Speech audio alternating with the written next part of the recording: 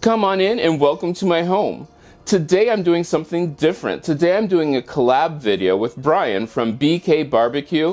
You have got to check out his channel. It has some of the greatest barbecue recipes, reviews, and anything barbecue that you would possibly want.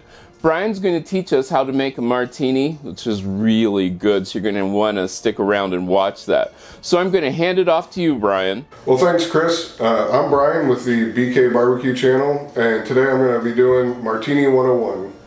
So there's a couple ways to make a classic martini. That's with vodka or uh, gin, and specifically London dry gin.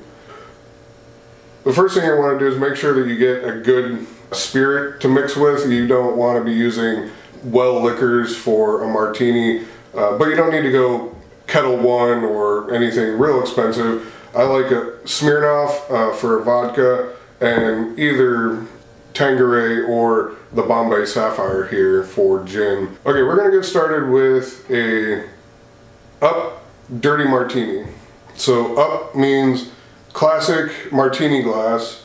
We're gonna do vodka, and dirty is the olive brine. So we're to go ahead and get this going with the shaker.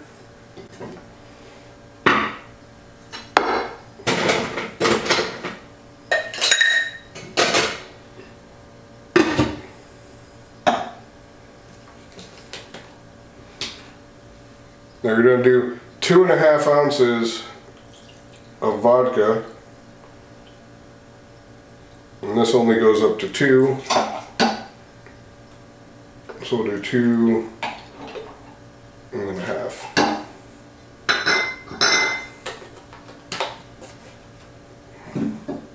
You're gonna need dry vermouth, half ounce of dry vermouth.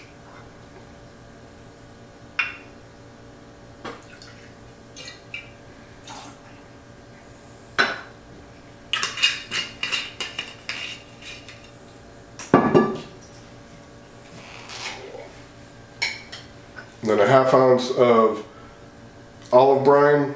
Now, there's dirty and then there's filthy dirty. If someone wants filthy dirty, you, you want to put a full ounce of olive juice in, or if they if they like it neat, neat is the absence of the olive brine. So you would just omit the olive brine at this point. So we're going to do a half ounce of the olive brine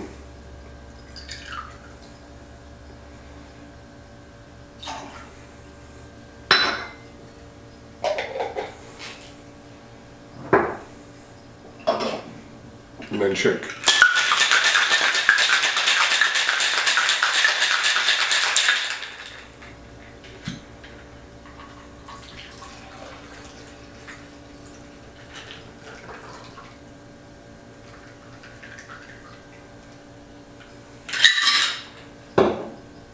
Now we're going to garnish with two olives.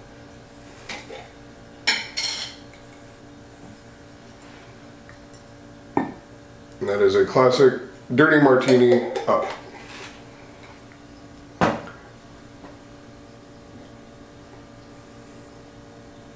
Okay, next we'll do a neat gin martini on the rocks. So for that we're going to start with a on the rocks glass with some ice.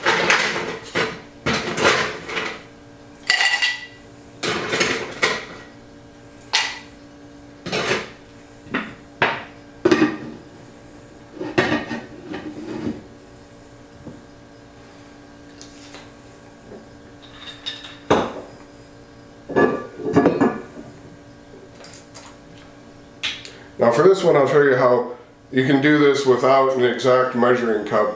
And for this you're going to do two shots of the dry uh, gin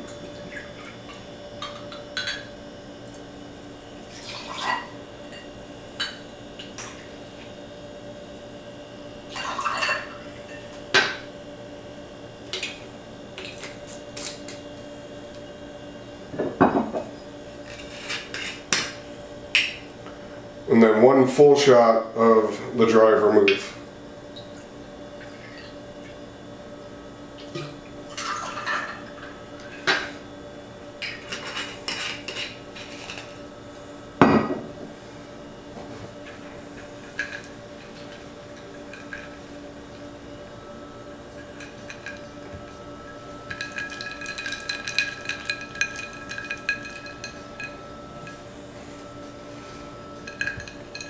And that is a gin martini on the rocks. Neat.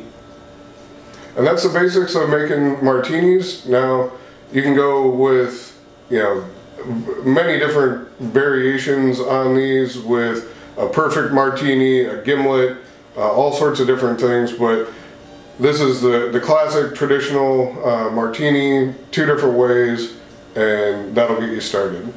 Wasn't that great? Making martinis can be so much fun. I hope that you go back over to Brian's channel and really check things out because his recipes are amazing. The reviews are so cool. It's one of those channels I think you're going to like to subscribe to. Now, if this is your first time here, remember to subscribe. Every Thursday is a cocktail, and I love making cocktails for you. And like I always say, why buy it when you can make it yourself?